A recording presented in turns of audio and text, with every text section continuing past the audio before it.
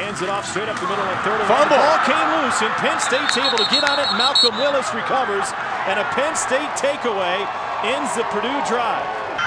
Two tight end set, Zordich makes a man miss to the goal line and in. Touchdown, Penn State. Third and five to bring extra men. Allen from the edge, and this time he gets him.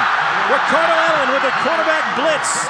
And the first quarter will come to an end after a big stop from Purdue's defense. It was a delayed trip for Penn State last night. More on that in a moment. McGloin drops.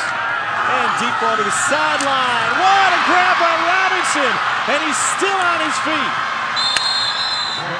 A big play on the outside. Plenty of time in the pocket.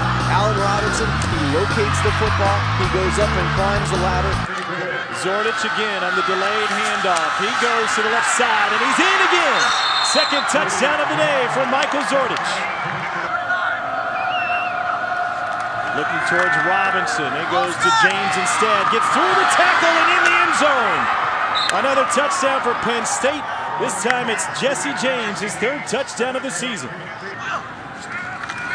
McGloin wanted something quick. Now he's got something deep and a man wide open. Touchdown, Penn State. Brandon Mosby Felder. His eyes sold it. And Felder finishes it off his third huge catch of the day. Their lone loss in the Big Ten to Ohio State last week. Hook and ladder. And this one is a beauty. Here's Burden down the sideline. And a beautiful cutback to take it inside the 20. Cool.